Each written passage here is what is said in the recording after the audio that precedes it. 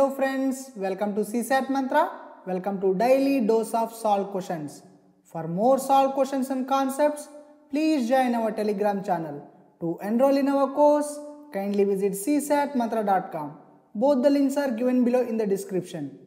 A librarian purchased 50 story books for his library, but he saw that he could get 14 more books by spending 76 rupees more and the average price per book would be reduced by 1 rupee. The average price in rupees of each book he bought was. This question is from averages chapter. I told there is only one formula in averages chapter and you have to stick to that. Most of the aspirants even after knowing that formula concept they were not able to solve the problems because they were not able to understand the problem properly. The very reason for not understanding the problem is they are not going step by step. I told divide and rule, okay? Divide each and every sentence, go step by step, one sentence at a time. If you do this, you can understand the problem very well. Don't think the problem as a whole write the equation for a particular sentence and the number of equation for each sentence okay? And then solve these equations my friends. Clear right? Now in this problem we have two scenarios two cases. First one is when librarian purchased 50 storybooks second one is after purchasing he saw that he could get 14 more books by spending 76 rupees more so there are two cases my friends, understand? Now I have written all the given information in a proper format, okay? This is very important my friends, okay? You need to identify the information given and you need to put them in proper format, okay? So two cases we have during purchase and after purchase, okay? Now we'll go through during purchase case, okay? A librarian purchased 50 story books for his library. We don't know the average my friends okay. So I am assuming the average as X.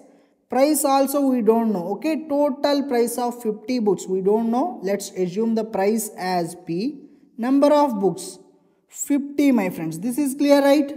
Now second case is after purchase okay. After purchase he saw that he could get 14 more books. So total number of books would be 50 plus 14 that is equal 64 okay? He could get 14 more books by spending 76 rupees more. Now the price would be p plus 76 my friends okay? Now in this case average price per book would be reduced by 1 rupee okay? So average is x minus 1 this is clear right?